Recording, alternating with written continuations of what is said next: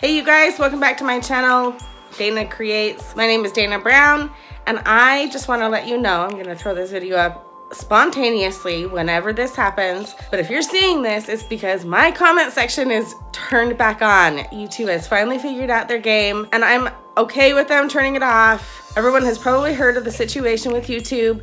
I'm totally in support of them trying to help protect kids, so it's totally fine.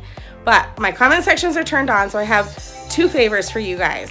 If you are new to my channel, you have three favors. you need to go subscribe, and then the other two favors are for everyone. I need you to go back and watch a couple of my past videos, especially the ones that don't have any comments turned on, where they didn't have their comments turned on when they initially went live. I need you to go and rewatch those and get an idea of what you wanted to comment on when they originally went live and put all your comments there. I'd love to chat with you guys. I've missed you. I really want to go and kind of interact with you again.